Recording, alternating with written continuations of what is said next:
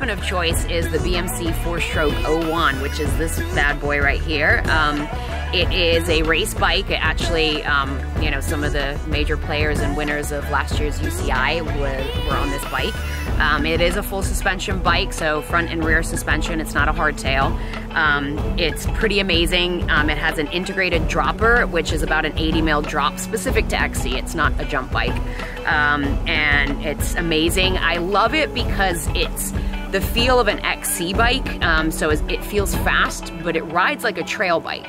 Um, so I do stuff on this that I probably shouldn't do um, jumping wise, but um, it's really, really a great bike. Um, I love the rake on the front and just the geometry is perfect. So the other thing that's super important is my tire choice. So I've been using Pirelli for quite some time. I use it on all my bikes, road, gravel, mountain bike, e-bike, everything.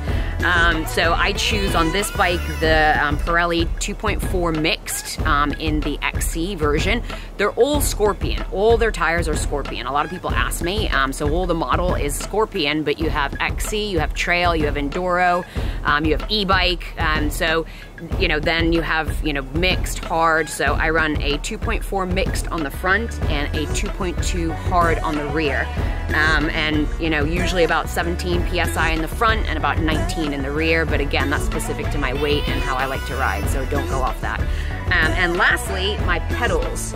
So again, I choose Crank Brothers. Um, I have Crank Brothers on everything that I own, um, from flats on my dirt jumper to egg beaters on this, um, and everything in between. I love their pedals. I love the ease of access. They're super nice to clip in and super nice to clip out. You don't get stuck like some of those other brands that I won't mention.